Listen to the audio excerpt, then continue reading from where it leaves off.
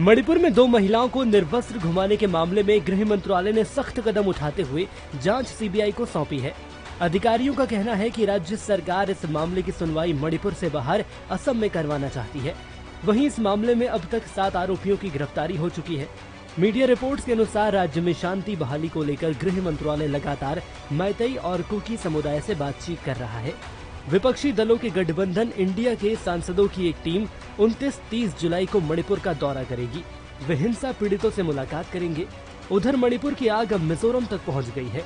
हिंसा की वजह से मणिपुर से कुकी जौमी समुदाय के करीब तेरह हज़ार लोगों ने पलायन कर पड़ोसी राज्य मिजोरम में शरण ली है। इसके अलावा मिजोरम में कुकी समुदाय के समर्थन में निकाली गई रैली पर मणिपुर के मुख्यमंत्री बीरेन्द्र सिंह ने नाराज़गी ज़ाहिर की। इस रैली में मिजोरम के सीएम जोरम थांगा ने भी हिस्सा लिया था। बीरेन सिंह ने कहा कि जोरम थांगा को दूसरे राज्य के आंतरिक मामलों में दखल नहीं देना चाहिए। साथ ही उन्होंने कहा कि हमारी सरकार कोकी के खिलाफ नहीं, बल्कि ड्रग कार्टेल के खिलाफ है।